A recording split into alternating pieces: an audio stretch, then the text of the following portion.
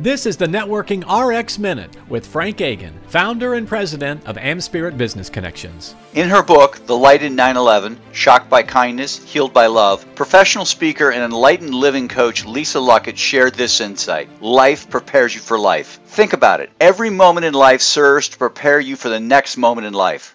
You learned to count, right? And that set you up perfectly to understand addition and subtraction. Learning your ABCs paved the way for learning to read and write. But beyond reading, writing, and arithmetic, the notion of life prepares you for life extends to your entire world. You will get through the challenges and issues of today because you have the experiences of all the days that came before. So, as Luckett implies, don't be afraid of tomorrow. Don't be apprehensive of the unknown. You are well situated to take on whatever comes your way. In short, you've got this. Never forget that your life has prepared you for the life ahead. Need an insightful, entertaining, and motivating speaker, keynote, trainer, or presenter? Let's talk. Contact Frank Agin via frankagin.com. F R A N K A G I N.com. Thanks.